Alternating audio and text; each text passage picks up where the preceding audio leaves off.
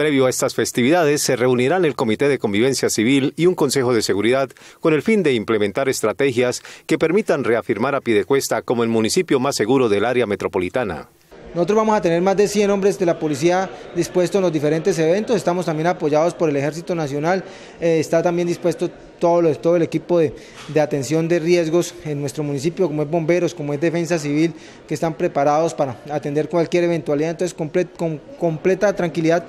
pueden asistir a cualquier evento y disfrutar en familia. Esto todo estamos, pues ya tenemos la experiencia de tres años realizando la feria, todo está muy bien organizado para que esta feria la vivamos en paz y disfrutemos de nuestras tradiciones. Las autoridades confirmaron que mantendrán vigente el denominado Plan Presencia en sectores aledaños al municipio, entre ellos las veredas Las Amarillas, Sevilla y la Mesa de los Santos. Se está realizando un trabajo mancomunado con todas las autoridades competentes para la seguridad, para brindarle la seguridad a la comunidad en las fiestas de la feria